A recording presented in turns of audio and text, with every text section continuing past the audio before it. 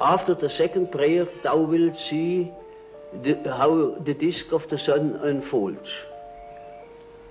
And you will see hanging down from it the tube, the origin of the wind. And when you move thy face and face to the regions of the east, it will move there. And if you move your face to the region of the west, it will follow you. And instantly I know, I knew, now this is it. This is the vision of my patient. But how could you be sure that your patient wasn't unconsciously recalling something that somebody had told him? Oh no, quite out of question, because that thing was not known. It was in a in a in a magic papyrus in Paris, in the, uh, and it, it wasn't even published. It was only published four years later after I had observed it with my patient.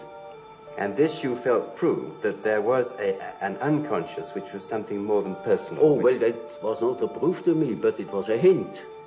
And I took the hint. Yes.